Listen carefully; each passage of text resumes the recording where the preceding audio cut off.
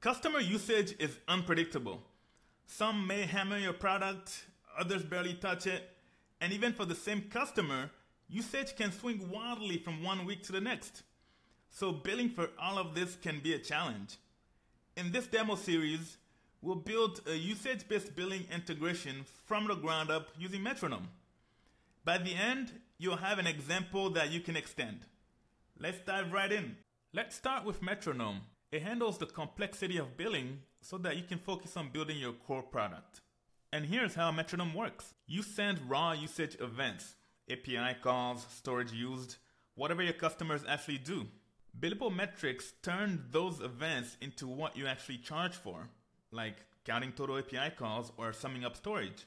Your rate card is the single source of truth for pricing. Update it once and it applies everywhere. You can even schedule price changes in advance, so no more manual updates. Contracts inherit from the rate card with any custom terms layered on top.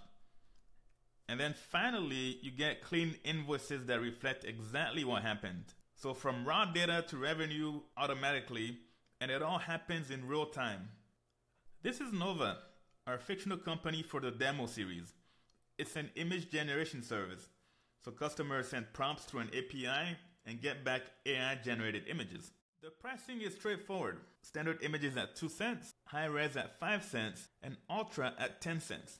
Over the next few episodes, we'll build the billing system that powers this. We'll build a full stack application, vanilla JavaScript for the front end and Python on the back end. And then the Metronome Python SDK will handle all of our billing operations.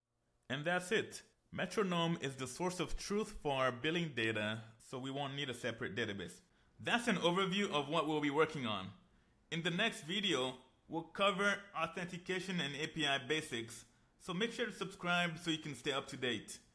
Thanks for watching and see you next time.